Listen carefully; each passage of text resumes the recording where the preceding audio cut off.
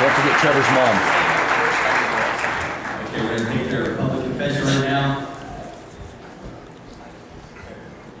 David, um, you believe that Jesus Christ is the Son of God, that He died for the forgiveness of your sins, and was resurrected on the third day? Yes, I do. What is your good confession? That Jesus Christ is my Lord. David, because of your good confession, we can now baptize you in the name of the Father, the Son, and the Holy Spirit.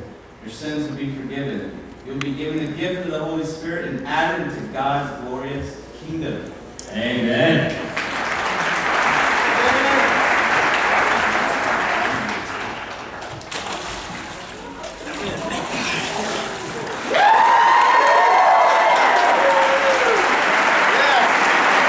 Okay, guys, let's go- let's go follow my brothers in blood prayer.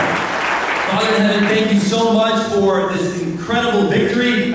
Uh, we're so grateful for David giving himself completely to you and through your grace, uh, giving him a new life. Uh, protect him and strengthen him, Father. Uh, give him uh, great deep convictions as he grows in his walk with you and bring him safely to you, to your heavenly kingdom. Father, we also want to ask for uh, just special prayer requests continued for Chris Lee and Regan Moore. Uh, Father, be with the Manning family, uh, and the, the challenges they're going through, and certainly be with little Caden. Father, we really pray for a quick healing, that uh, it will resolve itself, the surgery will be done, and he will be completely healthy. Father, we ask that you meet other needs that we can't even think of or don't know about that are in this congregation. We trust your spirit to, to meet those needs. Help all, all of us, Father, desire to meet the needs you call us to. We thank you and we give you the service. In Jesus' name, amen. Amen. You are dismissed. Picture, picture, picture. Hurry up.